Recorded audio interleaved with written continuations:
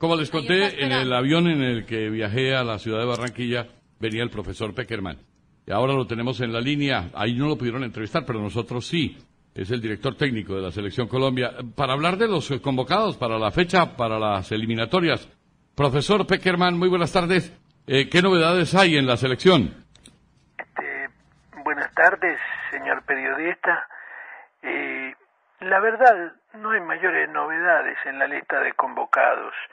Yo entiendo que seguramente los 46 millones de directores técnicos que viven en Colombia ya deben tener otros 46 millones de lista de convocados, pero lastimosamente solo podemos pasar una.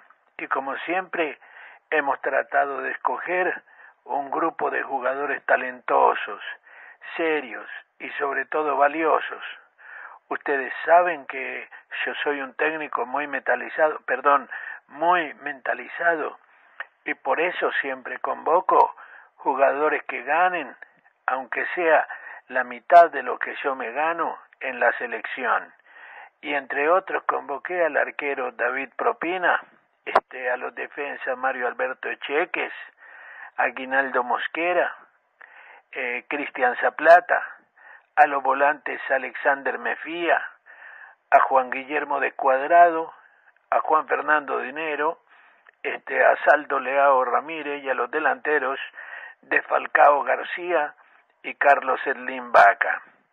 En conclusión, señor periodista, las únicas novedades con relación al último amistoso que jugamos contra Serbia son eh, la convocatoria de Teófilo Magnelli y mi decisión de no convocar a uno de los jugadores más valiosos de Colombia, como es el caso de Dólar Pavón, pero le confieso que no quise convocar a Dólar Pavón porque es un jugador inestable.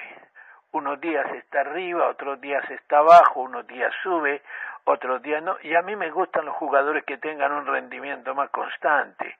Es el, el caso, por ejemplo, de James Euro Rodríguez, este hasta luego, señor periodista, y salúdeme Barranquilla, que es la casa de la selección, y permítame aprovechar para pedirle un favor a los barranquilleros.